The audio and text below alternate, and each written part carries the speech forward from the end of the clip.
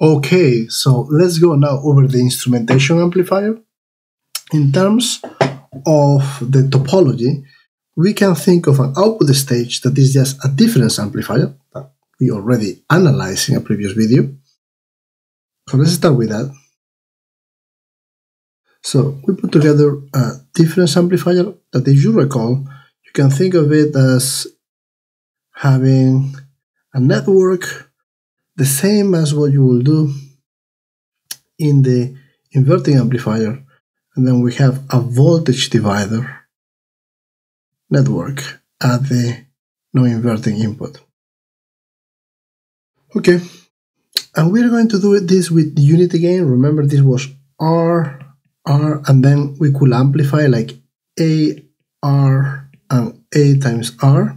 In this case, we are just going to have a unity gain. And so the way to do that is that the resistor here in the feedback is R, and the resistor here is R. And if you recall, the output of this, I'm going to call this VA and VB, was A times VA minus VB. But we want to improve the input impedance, the common mode rejection ratio, etc. And so we could do that by, at the very minimum, we could put two buffers. But the, the design can actually be improved. This is quite ingenious. So not only you get um, something equivalent to having a buffer with very high input impedance, so we have an operation amplifier there. This is your V1 directly into the input of the operation amplifier, ideally infinity, giving a 741 uh, in the mega ohm range.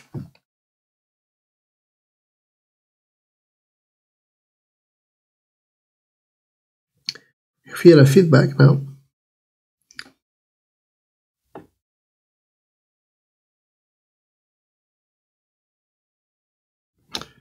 R. We're using here our gain. I'm going to call this Rx or R gain. This could be potentiometer. The other input, we are also going to have an operation amplifier for V2, feedback, and a resistor all these resistors, all these R's, we want them to be matched. So we can use precision resistors within 0.01%. And that improves the common mode rejection ratio. So let's go ahead and do this analysis. Let me label a couple of things. So this is VA. Uh, I'm going to call this voltage Vx and therefore this current Ix. So in order to do this analysis, we can think of the initial stage here that is going to be the difference amplifier and then we have here buffers as well as actually amplifiers that are also good uh, because they do not amplify the common signal so improve the common mode rejection ratio. So based on what we know already, V output is equal to VA minus VB, meaning it's going to amplify this difference. We could amplify with a gain if we scale this R with A and A, but we don't need to do that because we can set this up so that the only resistor that is going to control the gain of the amplifier is Rx or Rg, you want to call it R gain. So what we need to do now is to figure out what is the voltage here and the voltage there. So what is VA equals to? Uh, VA is the voltage right here in this node. We know at least what the voltage is here, right? That's V1 because we have negative feedback. And so the inverting input, so if we have a path from the output back to the non-inverting input, the inverting input is going to be equal to the non-inverting input, meaning the output of the operation amplifier, the operation amplifier is going to modify the output in such a way that that happens, right? And so we know what the voltage is here. This is V1 right there. And so we are going to have, and we know the this current, IX, is going through this network because the current entering the bias current is zero. Therefore, what do we have here? Our B output, VA, will be V1 plus IX times R, right?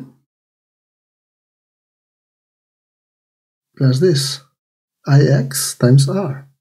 Similarly, we have that VB, the voltage right here, well, we know what the voltage is here, that's V2, V2, so it's going to be V2 minus the voltage drop that we have the current all going through there, which is Ix, because the current entering into this op amp is also zero. So minus Ix times R. And so with that, we have that V output is equal to V1 minus V2. So I'm just plugging this in.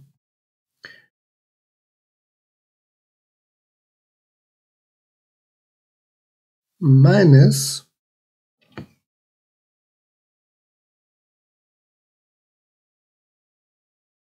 and actually plus, right, this 2ix times r. So we have this r, ix times r, and this one minus minus makes a plus, and so we got it. Okay, that's fine, but all this is depending on this ix. So let's figure out what that ix is, and then plug it in. What is ix? Well, ix equals we, if we know V1 and V2, so Ix is what? Vx over Rx. And that's equal to V1 minus V2 Rx. So with this, if we plug it back there, what do we get? We're going to get that the V output is equal to V1 minus V2 plus 2 times R over Rx V1 minus V2 or that the output voltage is equal to 1 plus 2 r divided by rx v1 minus v2 and we arrive at the solution.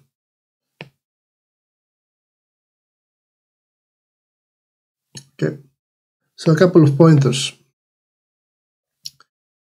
If you have all the R's match, R's matched, then you only need one resistor, Rx, to control the gain. Okay?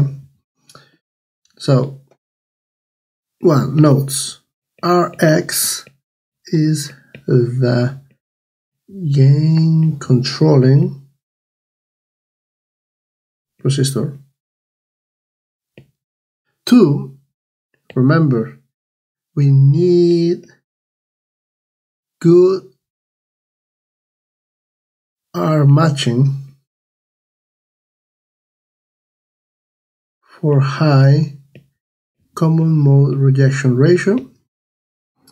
And three, what is the input impedance? Well, is the impedance of the amplifiers that we have here in the input stage. Uh, so very high input impedance,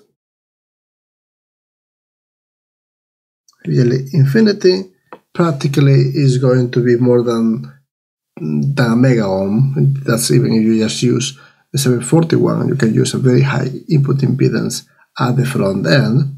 So this amplifier is used, um, very commonly used in instrumentation applic uh, applications. Anytime that you have uh, some transducers in the front end is a very good preamplifier to amplify the differential signal of what you are picking and reject the common mode rejection ratio. So anytime that you have a very large common mode signal and you are interested in those differences, this is a very good amplifier. Thank you.